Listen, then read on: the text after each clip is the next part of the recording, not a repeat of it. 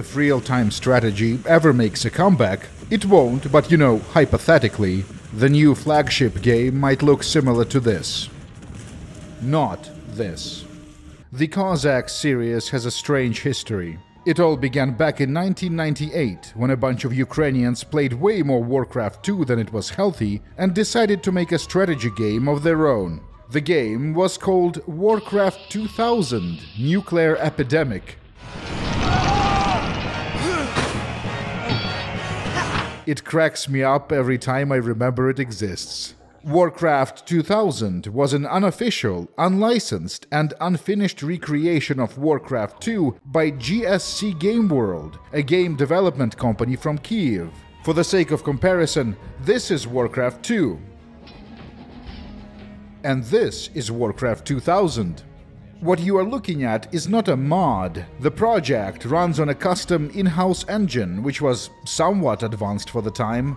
The two games look almost identical, but the technology powering them is very different. The story of Warcraft 2000 is about Azeroth being invaded by space aliens. By aliens, I mean like the Greys, not Burning Legion. Remember, Warcraft lore wasn't really a thing back then. Их интересовали ресурсы Земли. The Russian language narrator mistakenly refers to the planet as Earth. The invaders make deals with orcs and humans, selling advanced weapons to both sides, hoping that they will destroy one another, leaving the planet for the Greys to occupy. Warcraft 2000 had only one or two levels. The developers obviously couldn't legally sell a game made using Blizzard's visual assets. The project had to be abandoned. I love this fake box art.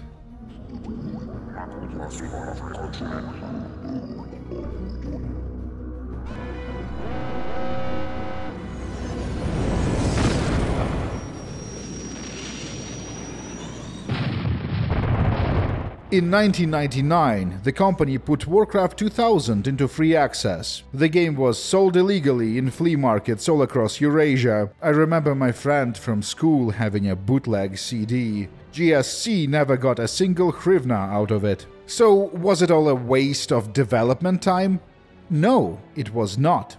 One unique feature of Warcraft 2000 was the absence of a realistic unit cap. The game supported armies nearly unlimited in size. In original Warcraft 2, you can only select up to 9 units per control group, but the Ukrainian project had no such limitation. This technology was later used in Cossacks, European Wars, the first commercial game GSC ever made.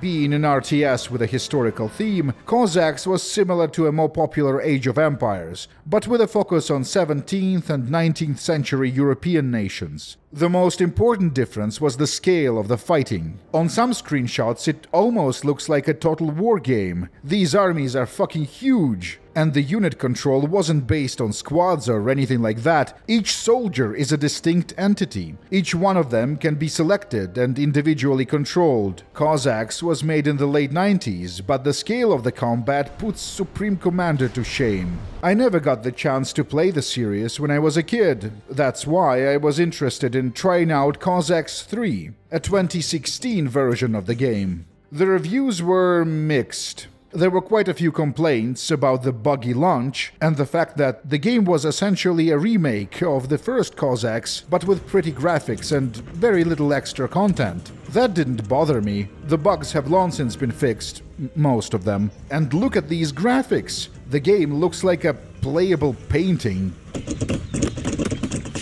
The reason I missed out on Cossacks is because I was a StarCraft kid.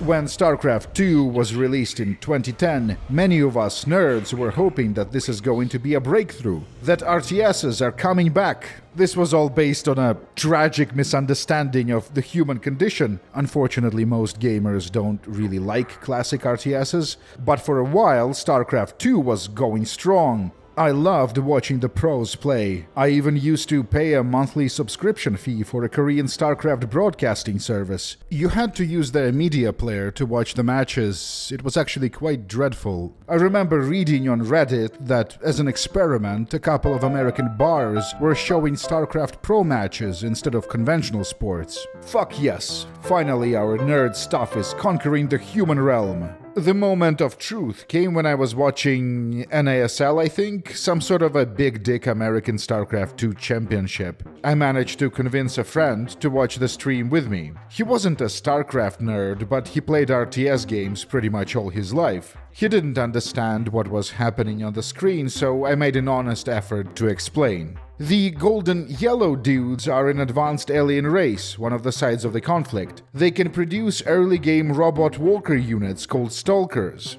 Stalkers have an ability to instantly teleport to a nearby location on a cooldown. It's called Blink. This is useful for maneuvering around the map and for getting out of danger. So in Protoss vs Protoss matches, it was important to master this Stalker micro. To teleport your units away as they are taking too much damage. Both the number of surviving Stalkers, as well as their hit points and shield values, can be thought of as a resource. So by microing your walker robots correctly, you can make these beneficial trades.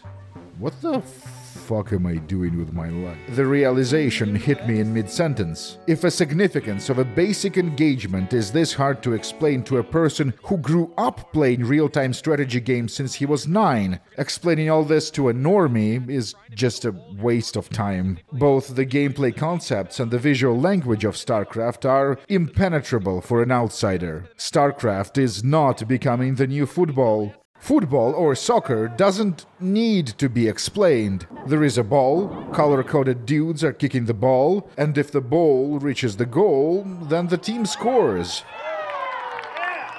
The mechanics of the match are obvious at a glance, but StarCraft is for a nerd's nerd. We got lucky in Korea, but it will never take over the world. RTSs are not coming back, at least not like this. I think everyone already knew that. Just a little slow in the head. This is all very sad and pathetic. But then, in November 2019, Microsoft released the remake of Age of Empires 2. It became surprisingly popular. 50,000 players on Steam, not bad for a 20 year old game in a dead genre.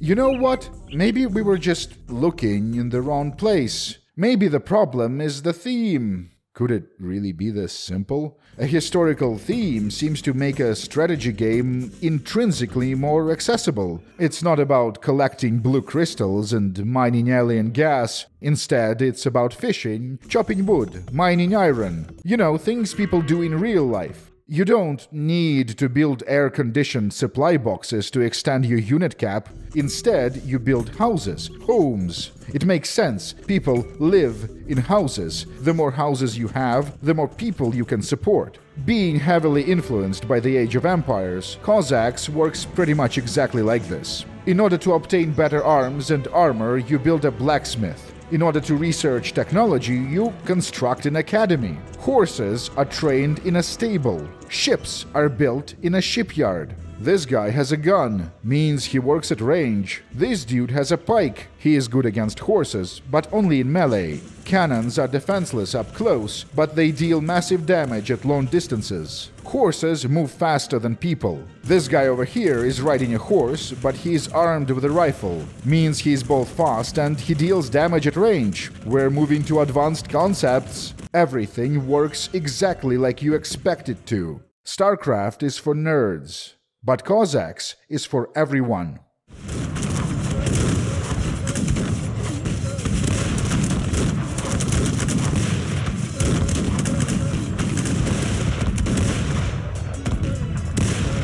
Age of Empires, Men of War, Cossacks, strategy games with a historical theme don't require detailed explanations of arcane gameplay concepts in order for you to understand what's happening on the screen. If the genre is to make a comeback, its new flagship game will probably be historical, and it doesn't even have to be ancient, medieval, or early modern history either. You can make a game about the Cold War proxy battles, or even about the still ongoing military conflicts although the latter seems like it might be in a poor taste.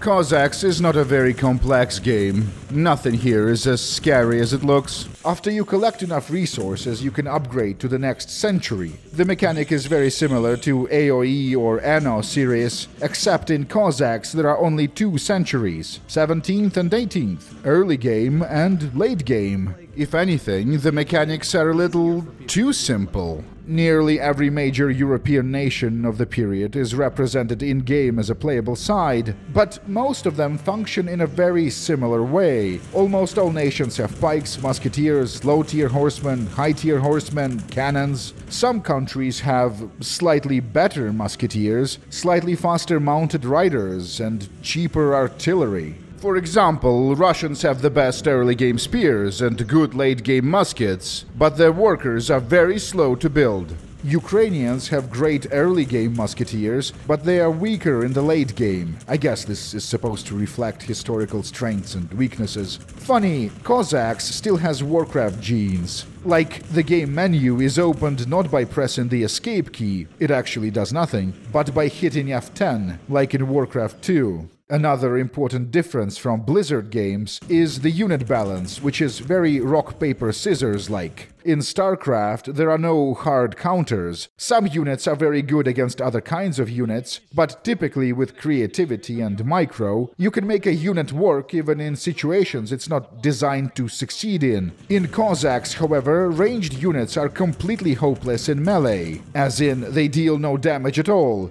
Horses seem to be hard countered by pikes. Artillery units are automatically captured if they lose their human escorts. Everything is hyper specialized.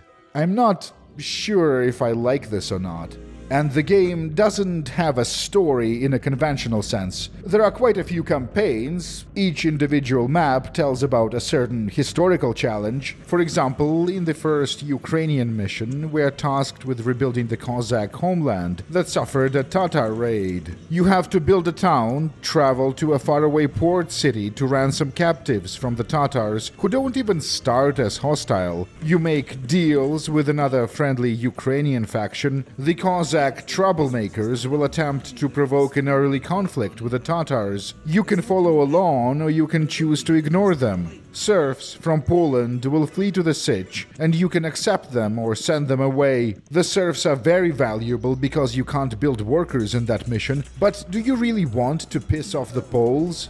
A sich is a Ukrainian term for a fortified military center of the Zaporozhian Cossacks, a proto-state that existed between the 16th and 18th centuries in what is now central Ukraine. Historically, Ukrainians were stuck between several worlds, the Catholic West, the Orthodox Eurasia, and the Muslims to the south the conflict with the Tatars is inevitable. So the first level ends in a massive mess of a battle with hundreds of men dying on each side. The Crimean Tatars are represented by Turkish units. Another playable Muslim faction is Algiers, which is rather unique. What other RTS allows you to play as Algiers, or as Zaporozhian Sich for that matter? Look at that. The Russian cathedral building looks like St. Basil's. While the individual nations in Cossacks do not possess the same degree of mechanical identity as, for example, the StarCraft factions, in terms of aesthetics, everything is very high effort, Visually, all buildings and units look very different from culture to culture, even though in terms of function they are quite similar. Surprisingly, the game is very easy to micro, and in general it seems to be friendly to lower APMs. Unlike in Total War, flanking doesn't seem to do much. So it's all about building a lot of dudes, organizing them into formations, and attack moving to success. A single map in Cossacks supports up to 32,000 units. If you are familiar with the RTS genre, you might be thinking, well, the pathfinding must be a nightmare. That's not really a problem because units in Cossacks can clip through one another, like StarCraft Mutalisks. But you don't necessarily want to do this in battle because the game has area of effect weapons. Units clipping is something that is probably required for making Cossacks function as a game, but it sure looks strange with otherwise realistic visual style it has. You see this thing? This is a river ferry that can transport up to 120 units. Unloading all of them at the same time makes it resemble a clown car.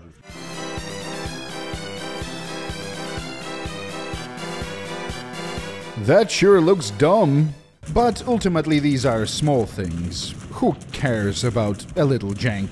Although it does beg the question what does the increased scale of combat actually do for the gameplay? It makes the units more annoying to control, but does it actually open new tactical possibilities? Are there more decisions to make, more ways to outplay your opponent? The game has formations, but establishing efficient firing arcs was important in StarCraft 2 and in 1 and in any game that has ranged units. I'm afraid the answer is no. The relaxed unit limit doesn't make the tactical gameplay any deeper, but it looks cool and maybe that's enough. Maybe. However, the lack of any kind of audible unit feedback is just straight up a design flaw. There are no unit confirmation sounds in Cossacks. No affirmative, no zug zug, no entaro adun. The units just silently obey their orders. Now, I can understand why the developers didn't want to record unit lines for two dozen different playable ethnicities, but where the hell are the advisor sounds? You know, new construction options, we must construct additional pylons, that kind of thing. There have been several instances where I failed to notice that I've been invaded by a huge fuck off Tatar horde because the game tells you this via a tiny text box in the left corner of the screen, which is very easy to miss when you're busy managing other shit.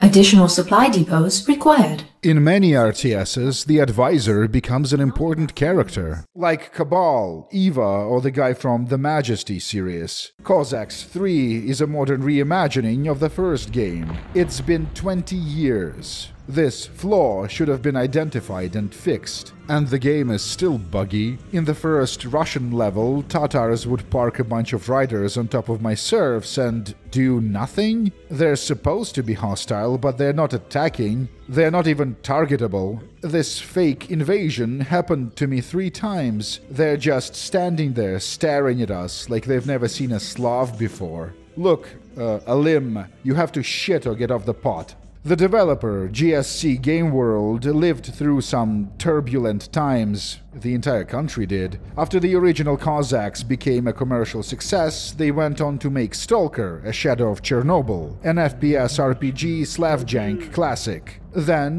the studio went through some internal drama and was closed by the owner, only to be reopened again a couple of years later. Their first game after reopening was Cossacks 3. Their second game will be Stalker 2. This is some cyclical bullshit. In a funny coincidence, some elements of World of Warcraft lore over the years evolved to resemble Warcraft 2000. There is a powerful alien race called Naaru capable of spaceflight. The Horde destroys a human port settlement by dropping a mana bomb from a goblin zeppelin.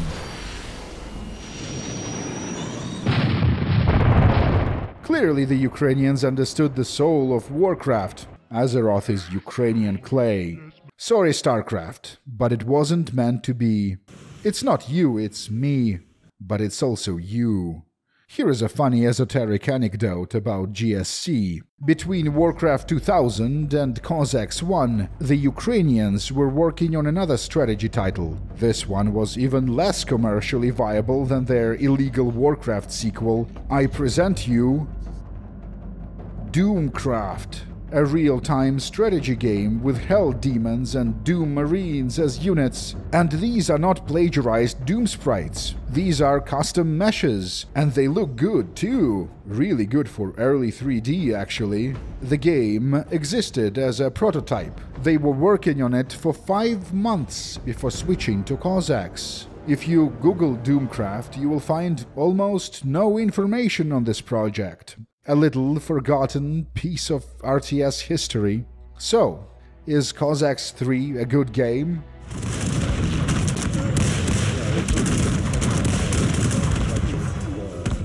Mm, yeah, yes it is. If you like Age of Empires, then it's an easy recommendation. Decent way to pass the time waiting for AoE 4.